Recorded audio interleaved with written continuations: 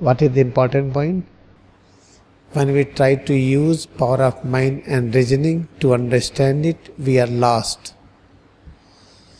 Because mind reasoning power always works unlimited concept. With the help of our sense organs, mind and reasoning power are observing. With the help of reasoning power, we develop tools microscope, telescope, electron microscope, electronics, computer, so many things. But with their helps, we are not able to realize that this arm is potentially vast and infinite. And Lahiri Master realized it.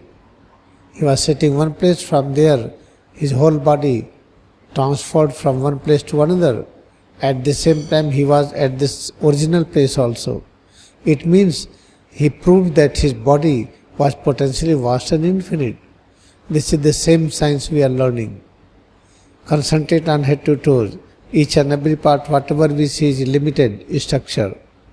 When we imagine with the help of logic, then we prove that in this there is limited knowledge, limited power. Therefore, remember with the help of logic, with the help of power of mind and reasoning, we cannot realize this truth. Therefore, there is a principle follow like lamb of sheep. Just listening and keep on following it. Because this practice, this is a time tested technique. Lahiri Maharshi proved it. Swami Yukteswar proved it.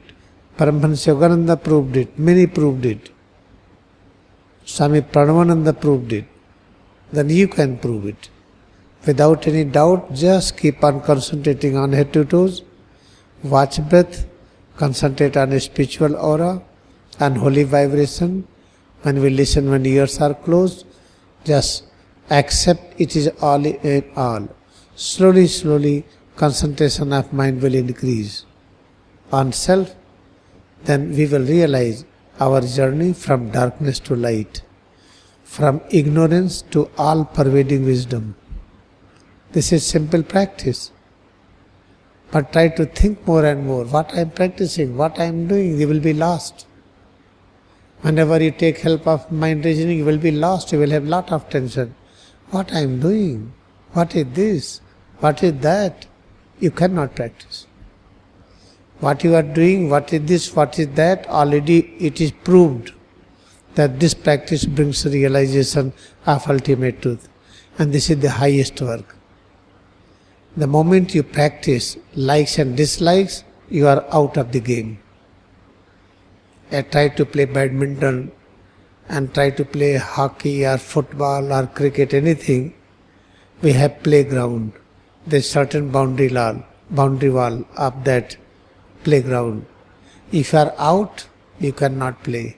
The moment you are affected from perceptions, moment you is pain and pleasure, you are out of the track. At that time you cannot practice. Therefore we should have only one aim, try more and more, that's all.